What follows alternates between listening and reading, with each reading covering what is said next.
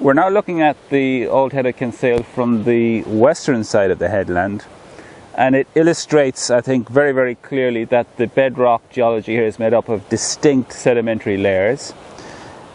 Hopefully it's also obvious that these layers are almost vertical, that they've been tilted from their original flat-lying position when they were originally laid down uh, during the Carboniferous period they were tilted by a mountain building event at the end of the Carboniferous period. We call that the Variscan mountain building event. And it folded all these sedimentary uh, rocks uh, throughout Munster, throughout southern Ireland.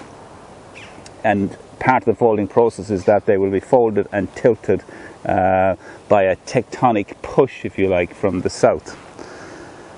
What's also nice is that we can see, we spoke about this idea of some rocks being quite tough and in the case of these rocks that we're looking at here to the south we're looking at the old head sandstone formation which is made up obviously of sandstones which are quite tough rocks and resistant to marine erosion.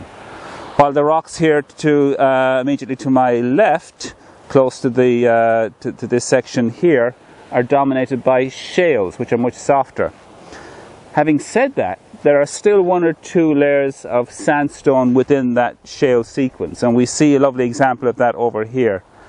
And you can see how they weather out and there's a, a little uh, effectively a little sea stack there uh, and that's formed by one of these sandstone resistant sandstone layers. So it's a lovely illustration of the uh, control bedrock geology has on coastal geomorphology here on the western side of the Old Head of Kinsale.